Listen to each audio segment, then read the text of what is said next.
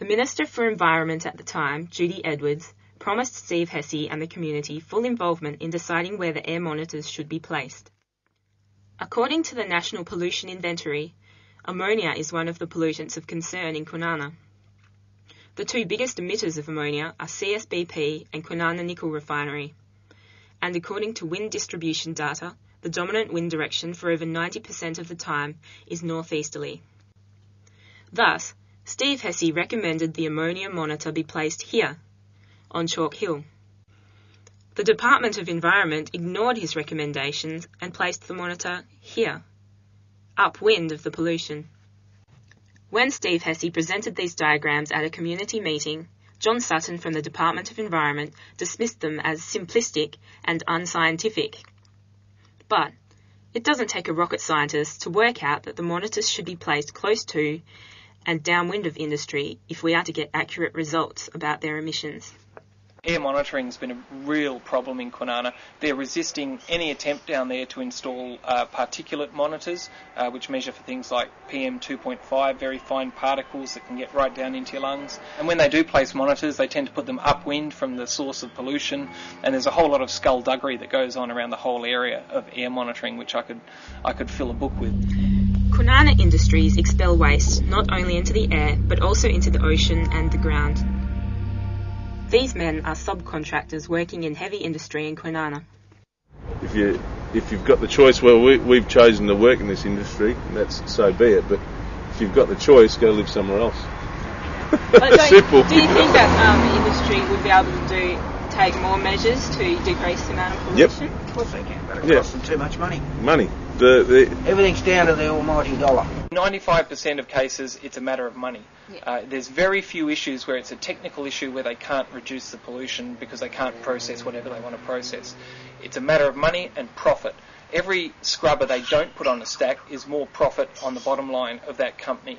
Um, and every time they don't put a scrubber on, there's more pollution in the community.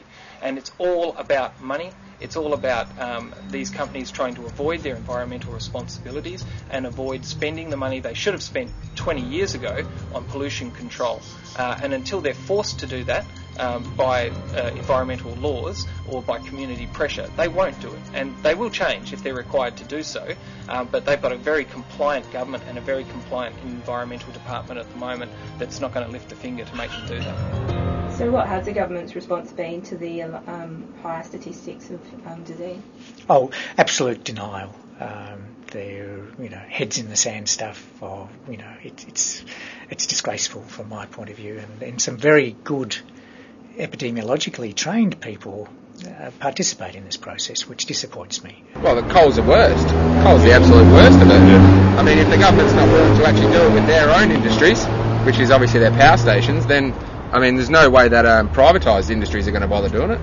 Really bothers me. I suppose the stressful part for me is knowing that these people in these government departments and high up in the government actually know what's going on and are doing the wrong thing. And you've got to wonder how these people sleep at night. I don't know how they do because I've got a conscience. That's what I do, what I do.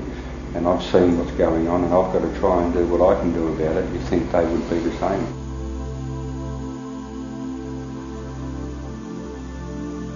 If we do prove that there is an issue between health issues and pollution in Kwinana, I'm sure that people will sue. That's not my plan.